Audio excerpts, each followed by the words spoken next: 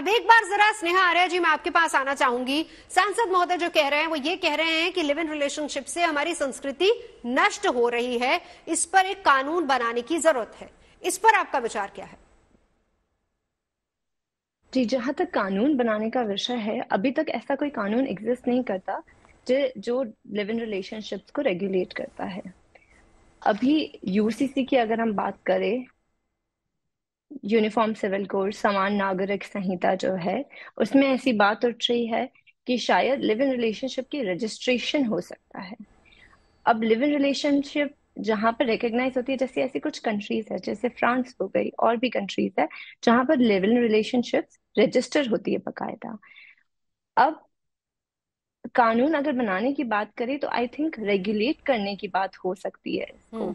Live in relationship जो रहते हैं उसकी कुछ कुछ प्रॉब्लम्स ये होती है कि उनको कुछ चीज़ों में लीगल रिकग्निशन नहीं मिल पाता। हम्म। जैसे अगर मैं अपनी लाइफ इंश्योरेंस पॉलिसी हो गई लेकिन ये हो गया उसका पॉजिटिव पॉइंट स्नेहा जी। ये उसका पॉजिटिव पॉइंट हो गया। लेकिन जो बात हम सांसद महोदय की समझ रहे हैं वो ये कि इससे संस्कृति नष्ट होती है। डॉक्टर निशा आप इस पर कुछ एड ऑन करना चाह रही थी?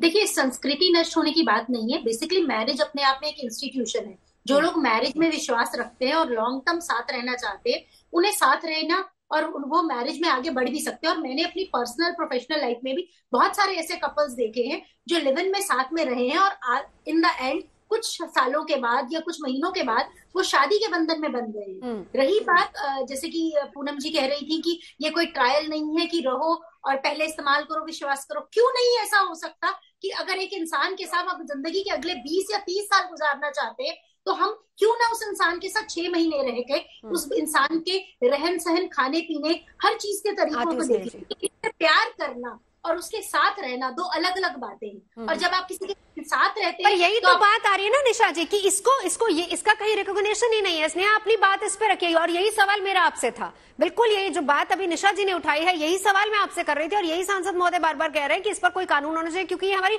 संस्कृति को नष्ट कर रहा है। अगर हम इसके पक्ष में बात कर रहे हैं जैसे बरखा जी इसके पक्ष की बात कर रही है डॉक्टर निशा इसके पक्ष की बात कर रही है कि इसमें कोई हार्म नहीं है। अगर दो लोग आपस में रहते हैं उन दोनों की कंपेटिबिलिटी बनती है तो आगे आप मैरिज कर सकते हैं और फिर हो सकता है कि आपकी शादी बहुत अच्छी निभे रादर देन शादी करने के बाद आपको ये पता चले कि आप दोनों की तो बन नहीं रही और फिर उसके बाद उसको छोड़ना बहुत मुश्किल होता है। स्नेहा जी।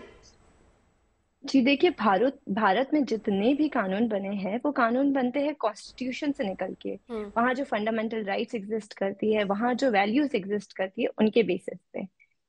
और यहाँ पर वो अनैतिकता की बात करते हैं समाज की बात करते हैं। हम्म। समाज के निर्देश पे नैतिकता को देख के कोई कानून नहीं बन सकता।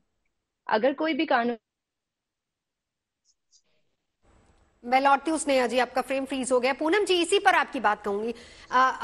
हाँ पूनम जी का एक रिएक्शन इस पर ले लेते हैं क्योंकि डॉक्टर निशा वही आपकी बात को काउंटर कर रही हैं कि क्यों ऐसा पॉसिबल नहीं क्यों नहीं हम लोग इस चीज़ को भी एक्सेप्ट करते कि अगर लड़का और लड़की एक साथ रह रहे दोनों एक दूसरे को समझना चाहते हैं और फिर उसके बाद वो मैरिज करना चाहते हैं।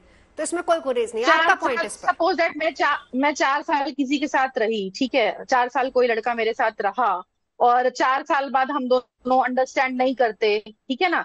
तो फिर मैं, हम दोनों रजामंदी से अलग हो गए। फिर हम किसी और को ट्राई करेंगे, भाई उसके साथ नहीं मेरा, नहीं अंडरस्टैंडिंग नहीं बनी, मैं उसके साथ नहीं रही। फिर दो साल, ऐसे तो आप ट्राई करते रहोगे लाइफ पूरा, आपकी लाइफ खत्म हो जाएगी। मैम जो लोगों को जो लोग आपने जो बात कही है कि दो लोगों की साथ में नहीं बन रही है आपको ये पता है कि आज अरेंज मैरिज के चक्कर में भी जब लड़का लड़की उस कोर्टशिप के पीरियड में मिलते हैं और बहुत सारे ऐसे कपल्स हैं जिनमें फ़िज़िकल रिलेशनशिप भी बन जाते हैं। और मैंने ऐसे बहुत सारे केसेस किए हैं जहाँ पेरेंट्स वॉकआउट करना चाहते हैं वो नहीं चाहते बरखा जी मैं आती हूँ। एक दूसरे से शादी करना चाहते हैं।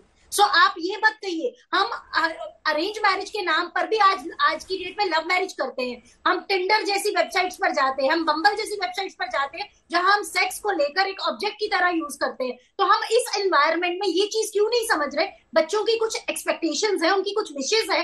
पेरेंट्स साथ में बैठकर उनसे चीज़ों की बात क्यों नहीं करती है? क्योंकि क्या बात है बिल्कुल ये ज़रूरी है। ये निशा जी ये बिल्कुल ज़रूरी है कि पेरेंट्स बच्चों को सही गलत बताएँ। है ना? बैठ के बात करें चर्चा करें। बट ये किसी समस्या का समाधान नहीं है कि आप साथ रहो फिर अंडरस्टैंडिंग नहीं बैठे एक एक बार बरखा जी का भी ओपिनियन ले लेते हैं इसी पे। बरखा जी? बच्चे बहुत समझदार हैं। वो टाइम चला गया जब आप बच्चों को समझाते थे। बच्चों को आज सेक्स एजुकेशन तक दी जाती है स्कूल कॉलेजेस में सब पता है उन्हें। लेकिन बड़ा सवाल यहाँ ये है कि आप ये देखिए आप फ्रीडम ऑफ़ स्पीच दे रहे हैं। आप हर चीज़ की फ्रीडम दे रहे हैं freedom of voting freedom of everything लेकिन आप यहाँ पे कह रहे हो, भाई, जिसके साथ रहना है, शादी के बंधन में ही रहना है। ऐसा नहीं हो सकता है। अभी हम ट्वेंटी फ़र्स्ट सेंचुरी में रह रहे हैं, यहाँ पे सबकी अपनी अपनी चॉइसेस हो सकती हैं और उन चॉइसेस का सम्मान करना चाहिए। बड़ा सवाल ये है कि जो रिपोकॉशंस है मतलब अगर मैरिड लाइफ है आपकी और आपने माँ बाप की सहमति से शादी करी है उनकी मर्ज़ी से शादी करी है तो आप चार सौ अठानवे डाल करके और तमाम कानून डाल बरखा जी बरखा जी मैं यहाँ पर एक एक काउंटर क्वेश्चन करना चाहूँगी।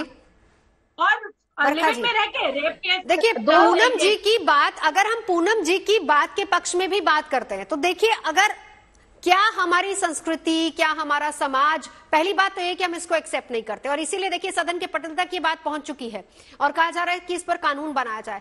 पूनम जी जिस बात को लेकर कह रही हैं कि अगर चार साल तक आप लिव इन में रहते हैं और तब भी आपकी कंपैटिबिलिटी उतनी नहीं बनती है और वहाँ पर आपका ब्रेकअप हो जाता है, तब क्या आप फिर से इंतज़ार करेंगे? इस पर आप क्या कहेंगे? और और एक बात और, मैं ये, मैं दो अविवाहित लोग साथ रहे वो फिर भी जस्टिफाइड है। लेकिन आज की डेट में विवाहित लोग लिविंग रिलेशनशिप में रह रहे वो गलत है। उससे दो परिवार टूट रहे हैं। एक जो मे- हज- मेल जो है उसका पार्टनर खराब हो रहा है और जो फीमेल रह रही है उसका पार्टनर मतलब दो फैमिलियाँ खराब हो रही हैं। बरखा जी। मैं उसके बिल्कुल विरोध। मैं ये कह रही हूँ कि इसके रिपोर्ट क्वेश्चन को देखिए यहाँ पर क्या हो रहा है? लिव इन में जब रह रहे हैं तो एक के साथ नई बात समझ आई। अब सेपरेशन के टाइम पे रेप मत डालिए।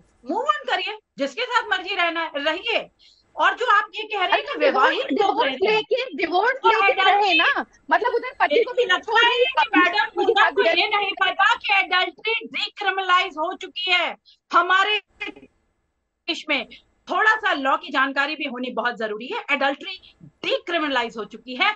अगर कोई लड़की किसी विवाहित पुरुष के साथ रहना चाहे तो वो रह सकती है वाइस वर्षा भी हो सकता है। वो उनकी चॉइस डिवोर्स लेके सारी बातें हम नहीं रोक सकते।